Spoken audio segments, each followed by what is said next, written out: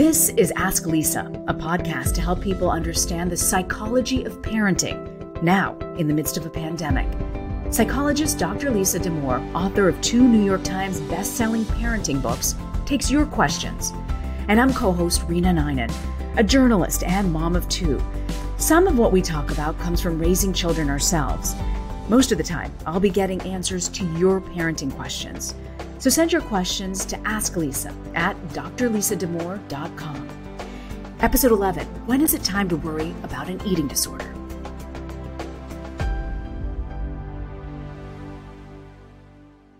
I know we spend so much time on this podcast talking about food, one of our favorite topics.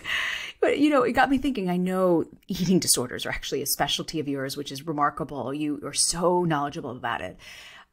I love, I, you know, food has given us a great deal of comfort. We've done a podcast on food. Um, when is it time to worry that you might have an eating disorder?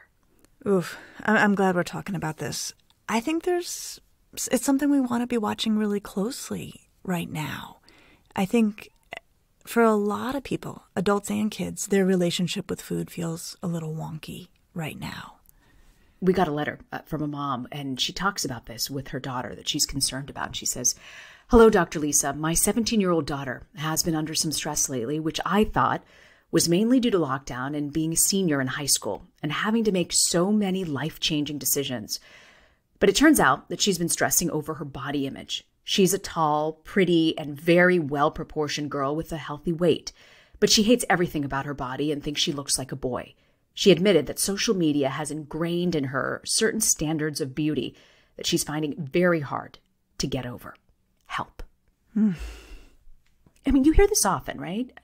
I'm hearing it a lot. And and I'll tell you, Rena, when I was worrying over the summer about what might be coming down the pike with teenagers and, you know, what it means to be under COVID-19, I was worrying about anxiety. I was worrying about depression, and we've certainly seen that be, you know, on the rise. I was worrying about substance misuse. And a little bit sort of, you know, further from the center of it for me was eating concerns. And I have to tell you, in the last couple weeks, I feel like clinically, in terms of what I'm seeing and hearing, what my colleagues are seeing and hearing, eating concerns have come so much to the fore. And then on top of that, I'm part of a conversation that's on WETA and PBS NewsHour about teens and COVID and um, how their mental health is coming along. The the link to how to watch is in the show notes. And as part of that, a survey was done asking teenagers, like, what was top of mind? What's the thing that's, you know, what are some of the things that you're really struggling with? The number one thing the teenagers said was stressful for them had to do with body image, eating, fitness. And the thing that was so incredible to me, though it lines up with what I'm hearing, the boys were really well represented in this. It was like 55% of the girls said that was their main concern, and 40% of the boys wow. said it was their number one concern. So it's one of those things, Rena, like, you know how sometimes like you'll learn a new word and then you sometimes like start hearing it everywhere? Yeah. yeah. I will tell you the last couple of weeks for me clinically, everywhere I turn, eating concerns are coming up. And, and that is wow. definitely worrisome. I didn't realize that the boys represented that, you know, 40%. That's huge as well. But, you know, you look at social media, Instagram, whatever it might be, you worry because you can add filters, you can make your waist skinnier, you can do a lot of things that don't make reality reality, right? Yeah. But do you what do you think is going on here is this because of covid because we're locked down is it just social media in general that's everyone's having to deal with like what is it really well, so I think there's a lot at play, but let's start with the social media piece. Okay, so generally in conversations about social media, I am very slow to blame things on social media. There's a there's in some ways I think an over blaming of social media for like every bad thing that goes on with teenagers. Yeah, and yeah. we don't really have the data for it and you know, so I'm always really cautious and I'm like, "Oh, it's not all bad." Okay, on this one, I think it's a pretty significant factor. And and I think there's a couple of things at play. One is kids are looking at, like you said, these idealized images or these, you know, kind of curated images, um, very carefully posed images, which they do normally, but normally it's counterbalanced by seeing kids in real life. You know, so I hadn't thought yeah, so like you know, it, it's one thing if you see a like a kid you know from class, a girl maybe who has really carefully chosen an angle to present herself with you know what they do. They spend a lot of time figuring out these angles where they you know sort of most flattering you know and or you know morphing in one way or another. But then you see her in class and you're like okay but she doesn't really look like that. You know that that in normal life there's more of a check against the distortions of social media. So one problem right now is that check is gone. And and and I just find it like I have so much empathy around this because like you know how um Instagram is now pushing reels. Yeah, I think it's like the. Facebook version of TikToks. Yeah. So like there's I've been searching like when I go to search for uh you know somebody on Instagram, when I open up the search frame, the reels start playing. You know because they're they're you know product, yeah. bringing them forward. And the reels are invariably like these darling, slim, fit Oh. young women who are like roller skating or whatever. And it's so strange, Rena, because even at 50 years old, I'm like, oh, I don't look like that. And I mean, just how quickly um, that reflex is to compare. And, and so I think here I am at 50, I can't resist it. Like, what does it mean for a kiddo? we talk about social media. How now do you counter that? What's the solution in dealing with that? Yeah. Okay, so one is again, like if you can get your kids to look at other people in person, you know, have their friends over in person, I really think that helps to counterbalance. The other thing that we need to do, and this comes from there's a really smart woman named Jill Walsh who talks about kids and social media and helping them manage, you know, how they take things in, is to have that conversation. To say, look, I mean, yes, that girl looks darling and very slim, but you know and I know, like, what do you think? Like, how long did she spend taking that picture? Like, how long, you know, how much time was put into that image? And and not saying you can't look at it or don't look at it. I don't think that's very realistic. But to do what we can in parenting to insert that filter to get young people, boys and girls, questioning what they see. Because the other thing I've seen, it was I was actually looking at something. Um, I think I was reading something in the New York Times about some TikTok hype house, and they showed a pack of boys who were these, you know, really, I guess, famous TikTokers, hmm. all without their shirts on, all with six packs. Yeah, yeah. And and I saw that and I thought, okay, here's the boy piece, mm-hmm. right? So we mm-hmm. talk so much about the girl piece, but there's also, I think, on social media for the boys to see a lot of young men who are putting forward these very, very, you know, kind of fit physiques. And if that is what you're looking all day at all day, and you're not looking at the kid in class who just looks like a normal person, Yeah. it can start to warp your understanding of how you're supposed to look. What else do you worry about? Okay, this is going to sound really basic, but it seems to be part of the problem.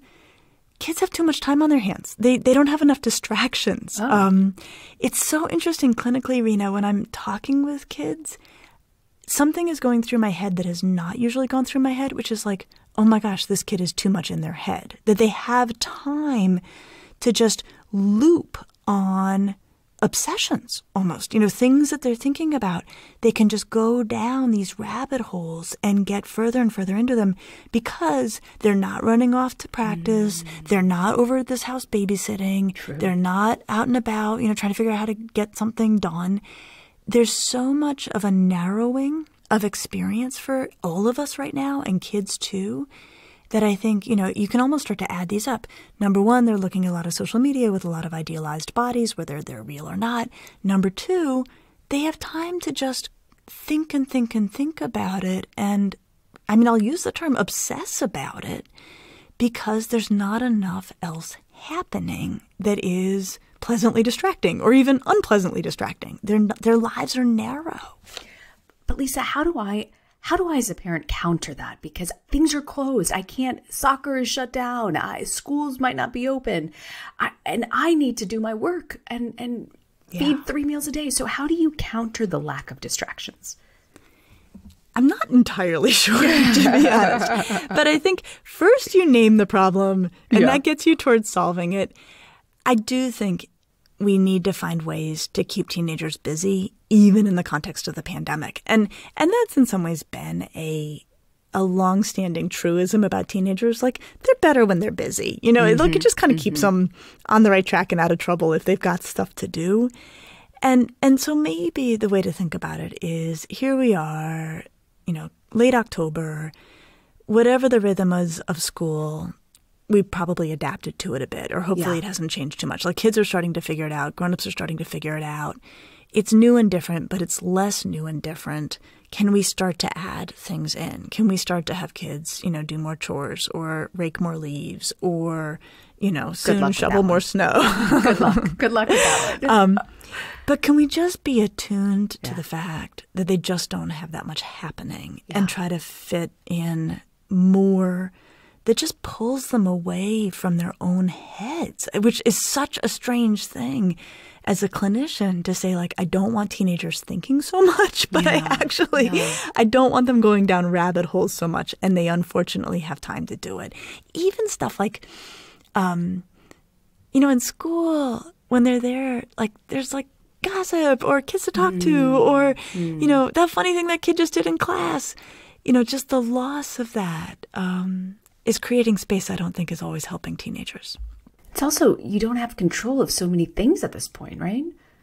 well that's i think another huge piece of this and and in many ways a kind of a, a traditional and it can feel like a little bit of a pop psychology explanation for eating disorders but i think it's really legitimate here which is it's something to control Hmm. and and so okay so first you've got the layer of kids looking at themselves or other kids on social media then you've got the layer of too much time to think about themselves, their bodies, how they're looking, how they're going to come out of this pandemic. And then the third is this overall sense that there's too little control. You know, that, that things are not going the way they want them to, and they can't control a huge amount. And it does, it just, I mean, to use a weird expression here, it sets the table for kids to be like, okay, well, I'm going to take control of this. I have time, I have inclination, and I don't have anything else I feel in great control of. I'm going to whip myself into the best shape of my life, or I'm going to eat the purest diet possible. And and it's one of those um, maneuvers that happen psychologically of like, if I can't do that, I'll do this. You know, if I can't control, you know, what's happening in my social life, I'll control my body. Hmm. And and it's it's problematic because it's reinforcing. You know, that if I feel like, okay, everybody's hanging out without me and I can't do anything about that, but I can eat salad for lunch and that makes me feel better. You know, we have the problem of it being somewhat reinforcing. Like, oh, I ate salad and I feel better Yeah. about my social life, right? I mean, it, it, it's sort of one of those tricky maneuvers that um, kids can get themselves in trouble and also grown-ups too. Yeah, oh, totally. But when I'm hearing you, you talk about, you know, this whole wishing for control as, as one of the explanations uh, with eating disorders. But I've got to tell you, like, I try to work out with the gang in the neighborhood, and I feel I, I can see how this is sort of the only thing I can control in my life that I look forward to. But at the same time, when is it healthy and when is it not? I think working out is healthy. It's helping my brain, my mental health. But what oh, eating a salad every day? What's wrong with that? Right. I mean, and that's actually also where I think it gets very tricky from the standpoint of parents because some parents are worried their kid is not eating all that well and being really lethargic and not getting that much activity. So, you know, if you see your child or teenager taking a lot of initiative around, like, I'm going to eat healthy and I'm going to make sure I'm getting lots of exercise, to a degree, parents are probably like, okay, good. Like, you're on it. Uh, you know, Yeah. like you're checking that box. I don't have to worry about that. Yeah. Um, and so, so the you know the the broad framework, and and I, I know we we raised this in our earlier episode where we talked a little bit about activity, um, but it's it's really the right framework is is your kid taking good care of themselves? You know, and especially teenagers, we can really expect that teenagers see it as their responsibility to take good care of themselves and and just watch that right? And so if you see a kid who you feel is getting really controlling around what they eat and their exercise i would start to call the question and i would call it openly with a teenager. I would say look i see that you um, eating less or eating super healthy is a way that you're trying to um, make something work right now when it feels like nothing's working make something better when it feels like nothing's you know happening the way you want it to happen but I want to make sure you're doing it in a way that really means you're taking good care of yourself, which means not taking it too far. Mm. What really happens in the mind for someone who's struggling from an eating disorder? Is there, can you talk generally about that? Is it different case by case? Oh, it's actually a fascinating question. So, part of why eating disorders can be so dangerous is they can kind of lock people in.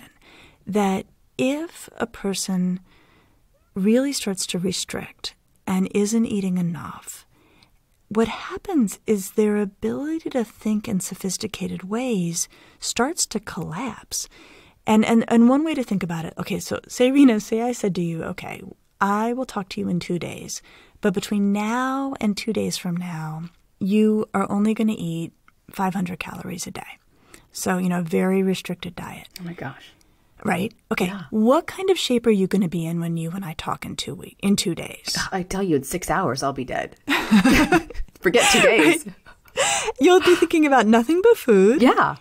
And we would not be able to have a rounded, thoughtful, sophisticated conversation yes. about anything. Yeah. I'd be angry, absolutely angry at you within six hours. Exactly. So you'd be I'd eat angry, your head off in six hours. Exactly. Angry and very concrete in your thinking, very focused on food only.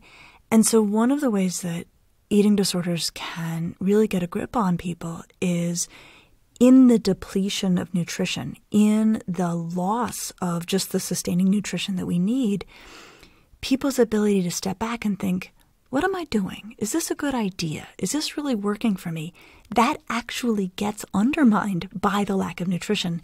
And so then there can become this very rigid focus on food rules or exercise rules that really can take people down a path that um, is a dangerous one.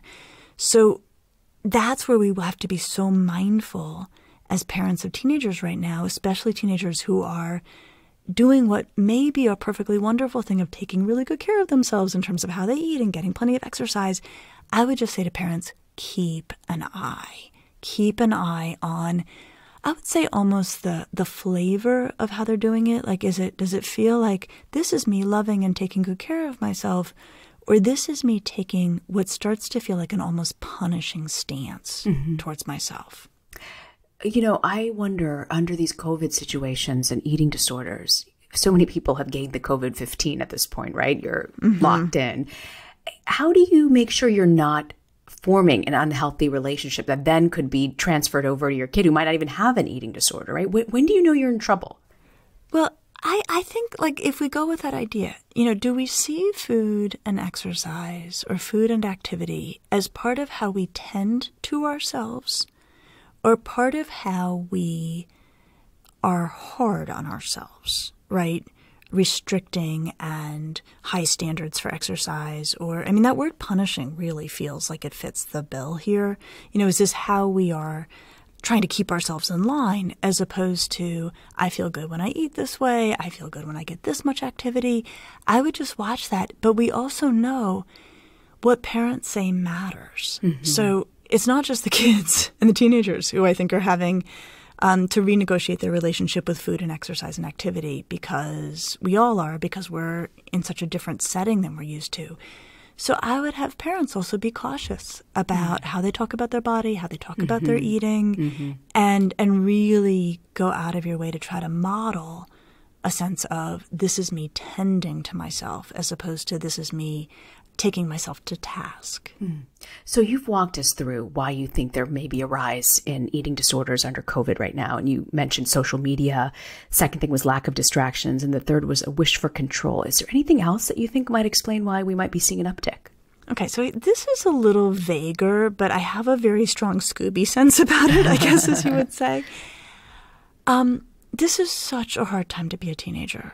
They are school is so weird and so hard, no matter how they're doing it.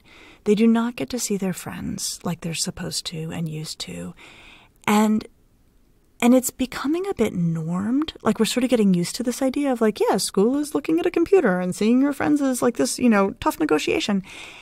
And what I worry in the kind of adapting to it, the normalization of it, is that we can forget how crummy this is for teenagers. And then we can do something which is really easy to do, which is to sort of flex on teenagers when they don't like it. You know, so when a kid is like, oh my God, I can't do one more Zoom meeting, it's very easy as a parent to be like, well, you know, it's important that you stay on top of things this year. Um, you know, or a kid's like, I really want to see my friends. You know, for mm-hmm. an adult to be like, well, you know, we have to be very careful. And and we can do that. And well behaved teenagers will sort of put their head down and go along with that. But part of what I worried about is they're still really mad. And and what we're asking them to do should be making them mad. Actually, anger is a very appropriate reaction right now to what we're asking of teenagers. But not all teenagers can or will get outwardly angry. Some will, some will misbehave, some will, you know, really go toe to toe with a parent. But I think let's work with the assumption that all teenagers are deeply unhappy, if not angry, about what we're asking of them right now, and rightly so. But some, rather than taking it out on the world, are going to take it out on themselves. And so, my other concern is that kids who are angry may manage that anger by pointing it against themselves and being like, well, I'm going to then get myself, you know, into good shape and only eat healthy foods and really take, again, I'm going to use this word again, a punishing stance toward themselves. Mm. I think that dynamic may be quite a bit at play, to mm. be hmm. honest. Interesting. So, bottom line, as we wrap it up here, what should parents really look out for? Well, I think watch to make sure you know, watch your kids' relationship with food. But I would also say on this last point, take the initiative to talk with your kid about how pissed they must be. You know, whether or mm. not they're articulating it, don't let them point it in. Help them point it out, right? right? So so you know, even as your wonderful diligent daughter or son, if you have one who's sitting down and just, you know, making it work anyway, doing the schoolwork under these terrible conditions anyway, take the initiative to say, look, buddy, I watch what you're doing and you're doing an amazing job, but like, this stinks, and you've got to be really frustrated or really annoyed that this is how it's going down. Or, I can't believe we have to negotiate whether or not you can see your friends. Like, we, we have to figure out something safe, but buddy, like, I don't want to miss for a minute that this is unfair and not okay for you. Don't let the ugly piece of this go unaddressed I would name it. I would try to help the kids say it. Because if it's not going out, if it's not pointed out, that aggression, that frustration can be pointed in, and that is not a good situation for kids. And on your point about focusing on, on other things and sort of other distractions, charity could potentially be a good distraction. Yes. And we yes. have a new series that we launched called For Children Everywhere. And we're going to mention a charity that we love and an opportunity for you to talk to your family about maybe donating and these charities don't know that we're mentioning them. So, and we get nothing out of it. It's just what Lisa's always said, giving back really helps people. And the charity we've decided is we're talking about food. One that I love is World Central Kitchen by Chef Jose Andres. They are doing amazing work providing emergency food relief, trying to keep small kitchens Uh, up and open. And during election, I found out they're going to be feeding people in the poll lines. They said they don't care who you vote for. They just want to make sure you don't leave the polls and you cast your ballots. They are helping in disaster relief areas. So we want to give a shout out to them, provided more than 25 million meals since 2013. If you want to help fight hunger, World Central Kitchen. And we'll put the information in the show notes too. Yes, every week we put the information on the charity in the show notes, which is on the description of where you're getting your podcast. And we're also going to mention Well-Being, because that's a show that Lisa will be on, WETA PBS NewsHour. More information in the description. So what's your parenting to go, Lisa? So my parenting to go is about when kids are pointing it outward, um, are pointing their frustration outward, and it's about complaining. And complaining is part of being a kid and a teenager, and it's for me, not that big a deal. It's sort of how kids manage to be really well behaved everywhere else as they come home and complain a lot. And what I am finding and hearing is okay, complaining is a lot right now. Kids are complaining a lot. If they're not, you know, just sucking it all up, they are complaining a lot. And there are two phrases that I think all parents should have handy for when their kid starts complaining. So the first one is Do you want my help or do you just need to vent? It's really useful because usually the kid will say, I just need to vent. And then the parent can sit back and see the complaining as a way that the kid is unloading the burdens of the day and then just walking away from them. And usually the kid feels much better. And knowing that the kid just needed to vent, the parent doesn't feel like they were supposed to have done something. if the parent's feeling like maybe more needs to be done, my other favorite phrase is to say, Is there anything I can do that won't make this worse? And it's a hmm. real light touch. It's a way of saying, I can tolerate that you're unhappy. I also can tolerate there may not be much I can do to fix things, but I'm here. I'm, I'm trying to be creative. And those two phrases address a great deal of the kind of end of day distress that kids bring our way.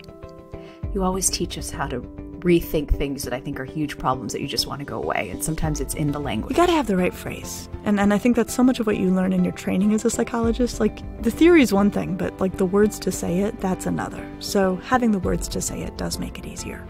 Absolutely love it. I will see you next week, Lisa. See you next week. Thanks so much.